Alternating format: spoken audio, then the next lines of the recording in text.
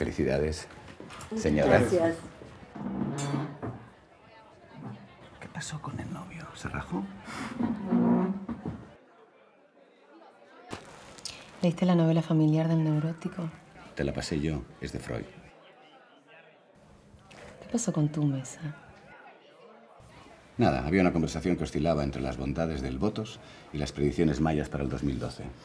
Y no encontré interlocutor. ¿Y desde cuándo buscas interlocutor? Siempre pensé que querías oyentes para tus monólogos. Es una deformación profesional. ¿Qué? Que estás muy guapa.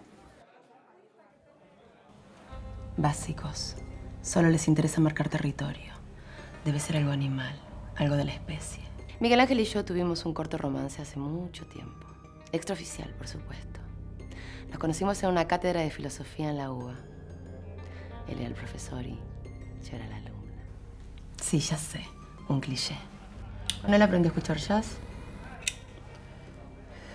a leer a Proust, a odiar a García Márquez.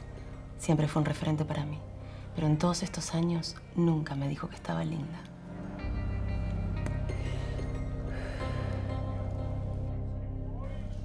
Y me lo dice hoy, el día de mi casamiento. Gracias. De nada. Vos no estás tan mal. Solo te gusté porque soy muy guapo, ¿verdad? ¿Me vas a presentar a tu novia?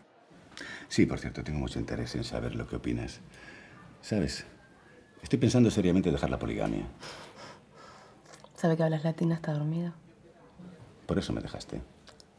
Yo no te dejé. Tenés mala memoria.